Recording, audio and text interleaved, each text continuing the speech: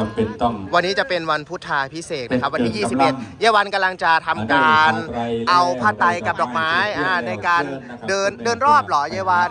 เดินรอบพระพุทธรูปพระรัตนมุนีศรีอุดมนะครับ เพื่อเป็นการบูชา เราเดินรอบทำไมครับรูปของเขาเอาทำพิธีให้ถูกต้องเรียงน้ำหนักโอเคน้ำให้ก่อนรองเท้าอ่า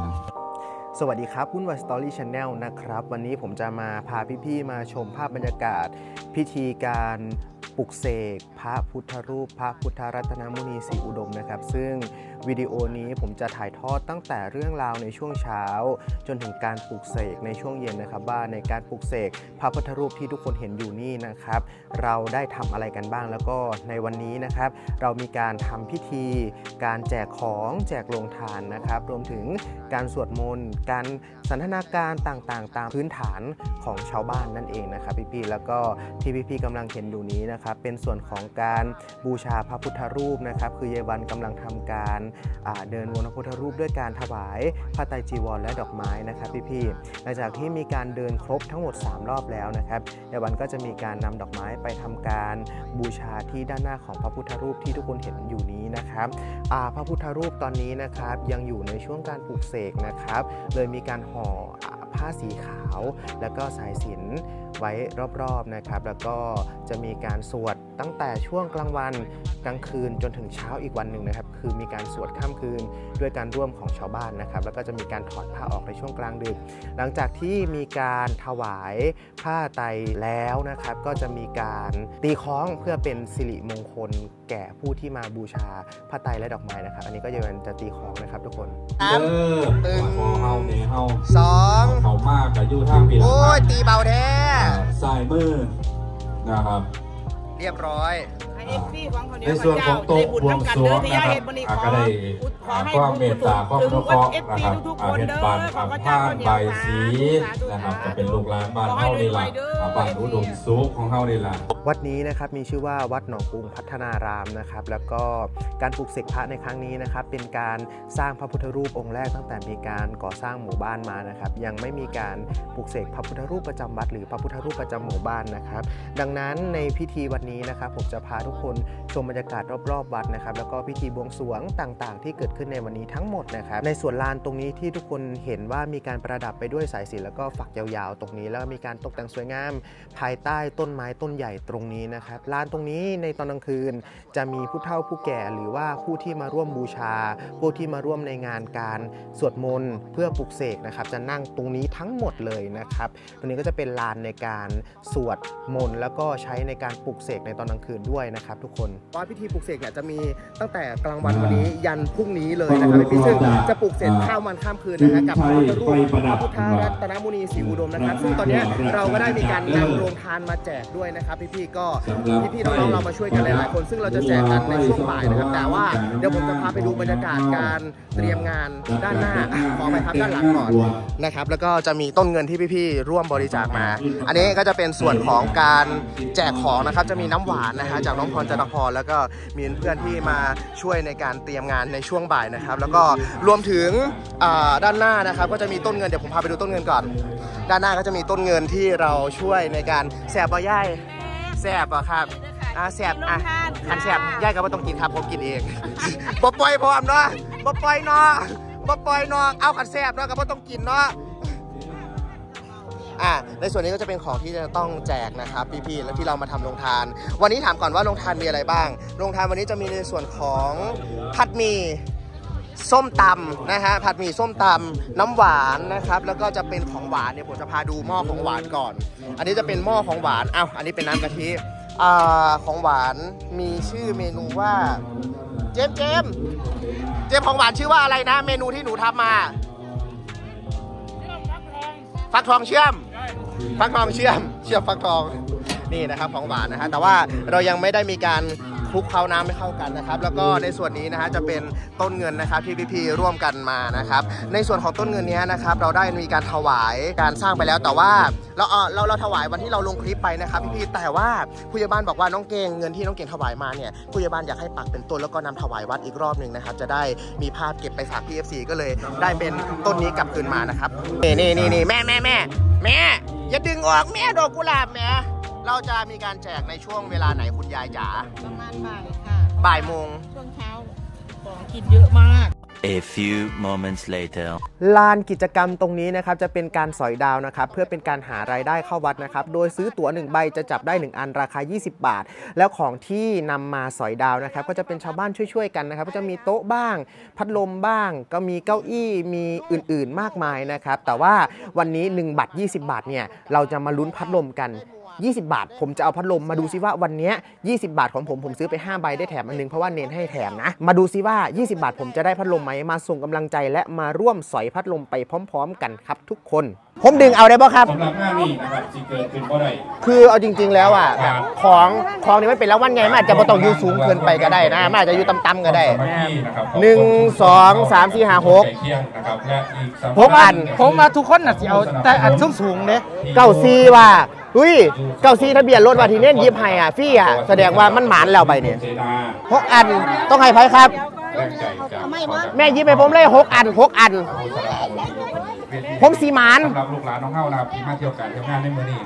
ใส่ละย่างอะกับขอให้ผู้ในหมานแท้ถ้าเบิ่งเด้อพี่น้องเด้อหกอันพัดลมต้องมาแล้วล่ะว่างานนี่โอ้ได้เป็นกิ้งมาขอบคุณครับข อกำลังใจกับพวกเราไก่บ่แถมเหรอครับ เจ้าหน้าที่ตำรวจไก่คือบ่แถมมาแยกความสงบโอ้สีได้ทั้งแถมทั้งบัตรฟรีทั้งอันโมนี้แมนมันสิได้ยอดอันอันอันเหลือเออสถานว่าโดดเด่นมันคือบ่แถมมาขออนุญาตนะครับเปลี่ยนบ่บ่บ่อันนั้นนมเปรี้ยวว่าเอา เปิดทำการแสดงนะครับของตอนเจ้าถ้าเบิ่งอันนี้อันไกลไม่เลยจักอันนั้นครับไก่กระแถมผมโลดครับ พระพุทธพระรัตนบุรีไก่กระแถมผมโลดจะบอกไปเด้อโอ้ขอบคุณครับอัญ ชลีวันชายอภิวาสแจ๊กแจ๊กแจ๊กแจ๊กไอ้เก่งแล้วมากระดวกบ่คือพี่เน้นไก่อันหนึงเลยซอยซอยซอยซอยซอยซอยอันแรกเด้ออุ้ยอันแรกอันแรกอันแรกเด้ออันที่โอ้สันว่าสันว่าสันว่าพัดลมพัดลมพัดลมพัดลมพัดลมพัดลมพัดลมพัดลมพัดลมแป้งกระป๋องว่ะ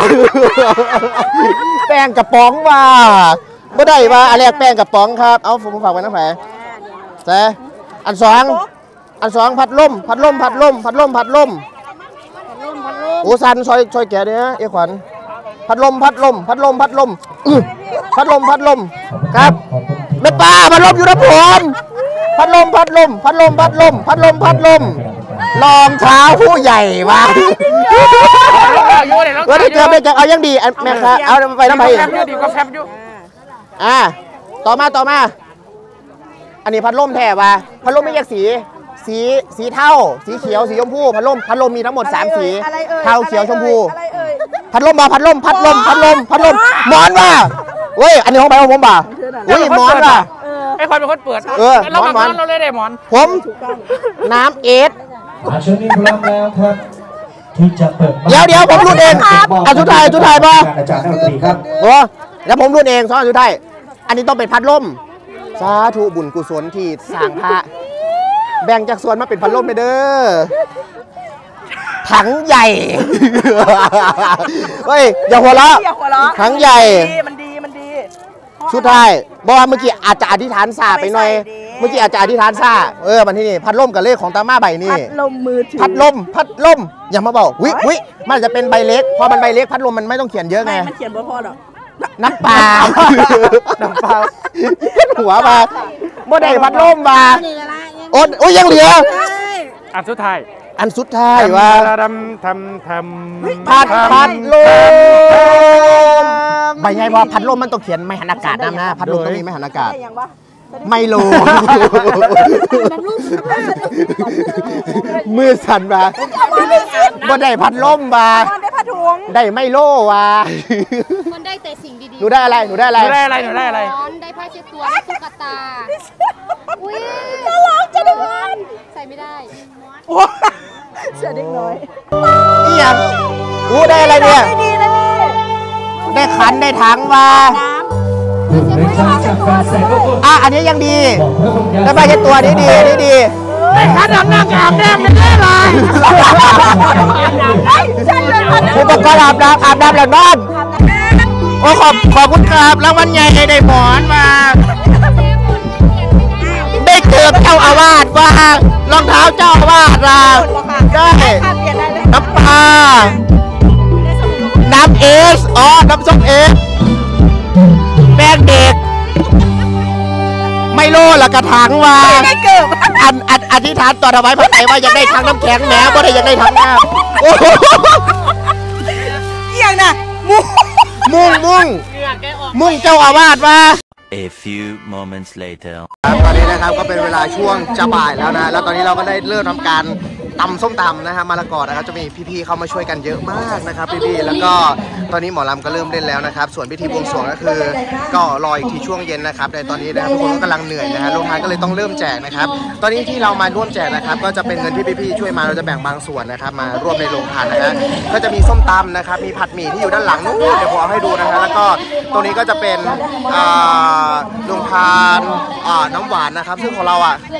เนี่ยของเราก็จะมีน้ำหวานแต่ของเราแจกหมดไปแล้วตรงนี้ของเราแจกหมดไปแล้วนะครับนี่น้องกินอยู่นี่นะฮะน้องกินอยู่นี่คือน้ำหวานที่เราทำแจกไปนะครับ ซึ่งหมดไปแล้วแล้วก็ผัดหมี่เนี่ยไม่แน่ใจว่าเหลือไหมเพราะเมื่อกี้บอกไปซื้อของ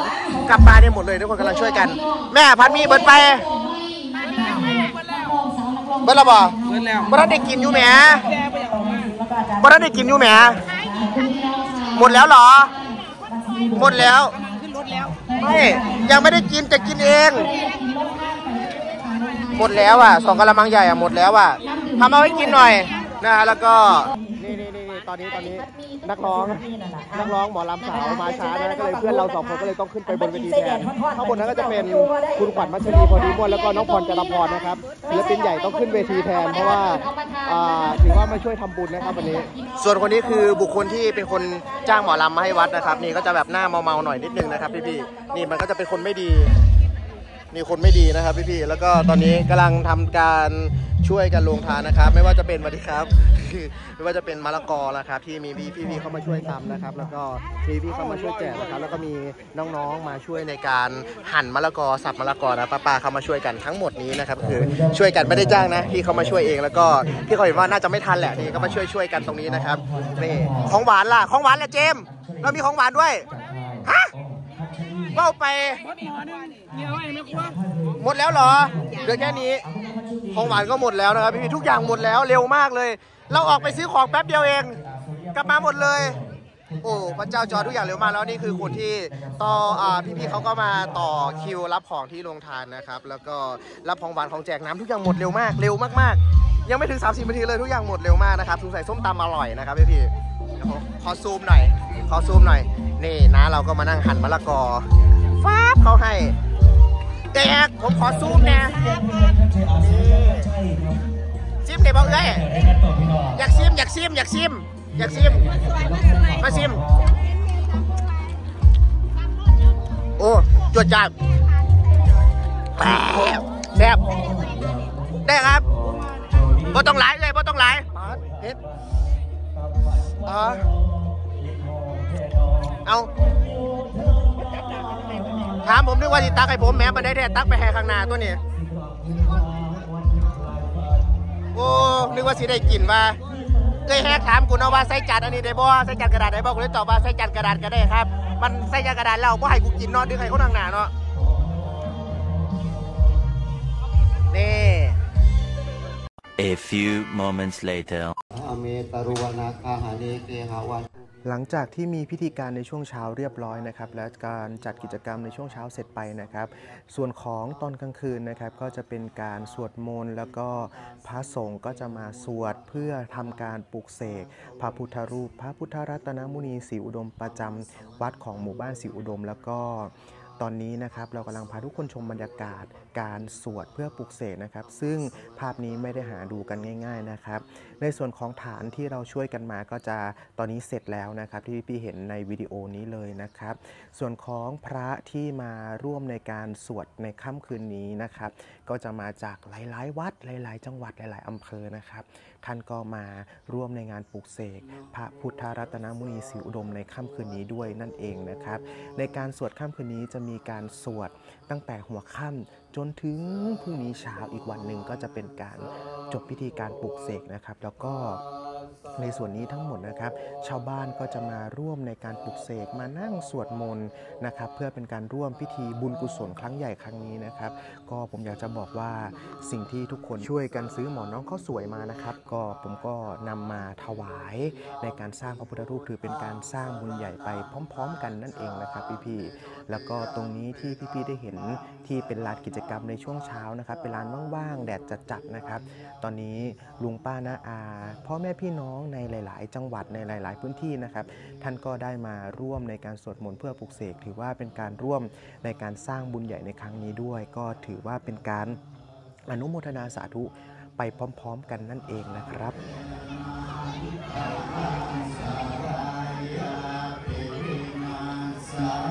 ต